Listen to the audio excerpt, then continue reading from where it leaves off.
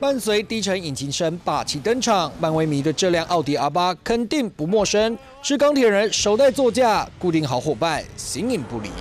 Oh yeah! This is the original R8.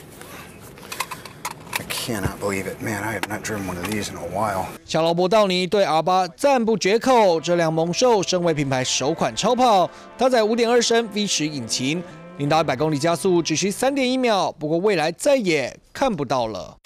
阿巴在历经将近二十年贩售后，为了因应品牌转型跟全球市场需求改变，原厂宣布停产。全球最后一辆已经于三月底在德国工厂正式下线，另一个品牌也有计划。捷豹力拼全面电动化，二零二四年全面停产内燃机车款，而旗下轿车与跑车等系列将会在六月份下线，未来会专注于 E-Pass、I-Pass 等 SUV 车型。